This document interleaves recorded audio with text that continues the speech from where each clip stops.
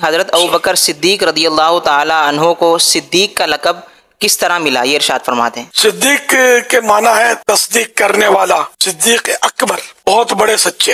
एक रिवायत के मुताबिक, अबू बकर सिद्दीक रदी अल्लाह का लकब सिद्दीक आसमान से उतारा गया है। एक रिवायत ये भी है कि अल्लाह के प्यारे हबीब सल्लल्लाहु अलैहि वसल्लम फरमाते हैं, शब मेघराज मैंने हर आसमान पर अपना नाम यूँ लिखा हुआ देखा, मोहम्मद अल्लाह के रसूल हैं, सल्लल्लाहु अलैहि वसल्लम। और अबू बकर सिद्दीक मेरे खलीफा हैं। यानी हर आसमान पर सिद्दीक लिखा हुआ।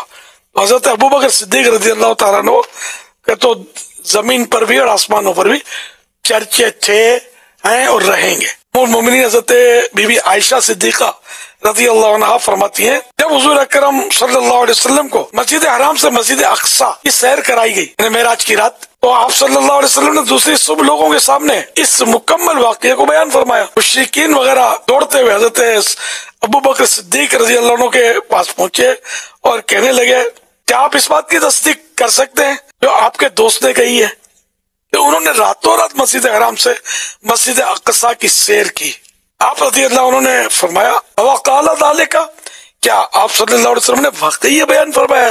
उन्होंने कहा जी आपने फरमाया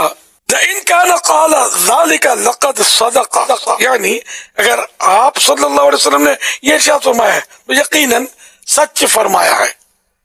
और मैं इनकी इस बात की बिना झिझक तस्दीक करता हूँ इसको सच्चा तस्लीम करता हूँ, सच्चा मानता हूँ। उन्होंने कहा, यानी क्या आप इस हैरान कन बात की भी तस्दीक करते हैं कि वो आज रात में मुकदस गए, और सुबह होने से पहले वापस भी आ गए? आप रज़ी अल्लाह उन्होंने इर्शाद फरमाया, जी हाँ मैं तो आप सल्लल्लाहु अलैहि वसल्लम की आसमानी खबरों की भी सुबह शाम तस्दीक करता हूँ। और यकीनन वो तो इस बात से भी ज़्यादा हैरान कन और ताज्जुब वाली बात है कि आसमान की खबरें ज़मीन पर रहते हुए मैं उनको भी मान लेता हूँ। अभी है इस वाक्य को मानने में क्या मेरे लिए रह गया है?